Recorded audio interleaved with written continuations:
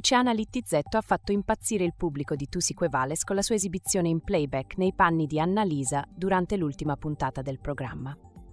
La comica e giudice del talent show si è esibita sul palco cantando Mon Amour e ha indossato un outfit identico a quello della cantante savonese nel videoclip della canzone.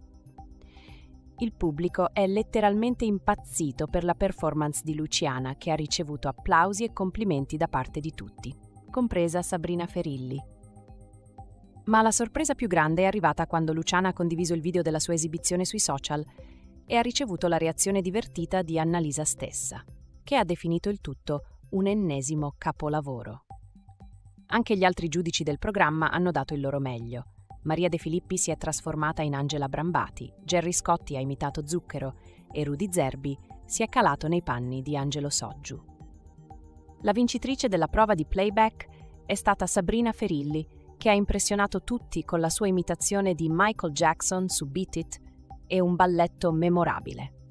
Jerry Scotti, deluso per la sconfitta, ha scherzato sul fatto che nessuno lo abbia votato. In ogni caso, la puntata di Tusique Vales è stata un successo e ha regalato momenti divertenti e emozionanti.